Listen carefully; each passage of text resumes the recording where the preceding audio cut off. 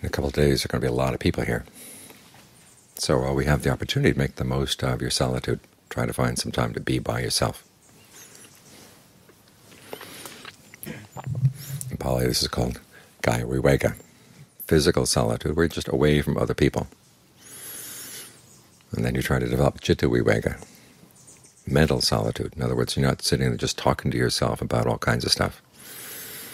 You're with one thing here in the present moment, the breath in and of itself, just coming in, going out. And as long as you're going to have a companion, make the breath your companion. Try to have a nice friendship with the breath. As soon as you focus on the breath, sometimes you find that it immediately tenses up and gets un uncomfortable. Well, try to back into it, sidle up to it. In other words, find some other way of approaching the breath where you're not putting too much pressure on it. So that you're bathed in the breathing sensations all around the body. In this way it's good to be alone. The, the body gets healed, the mind gets healed, and you begin to see things a lot more clearly. This is one of the reasons that we recommend that if you have some issue in life you're trying to think about, wait until the end of a meditation period and then give yourself, say, 10 minutes. So now that the mind has been calm, it's been treated with the breath, soothed with the breath. Let's see what it thinks, how it looks at things from this perspective. And sometimes nothing will come up, and sometimes interesting things will come up.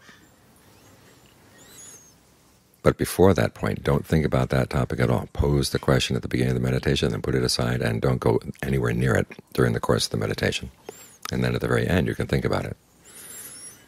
Because the mind is like anything that you use. You have to take care of it. Otherwise you wear it out. The image that they like to use in the Forest tradition that the mind is like a knife. And if you just keep chop, chop, chopping away, after all, the knife gets dull.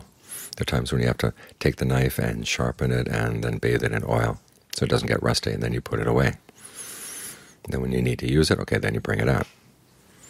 It's the same with your mind. You don't want to be thinking about things all the time especially scattered things around the past and the future. Thinking about this person, thinking about that person. If you're going to think, think about something that's right here.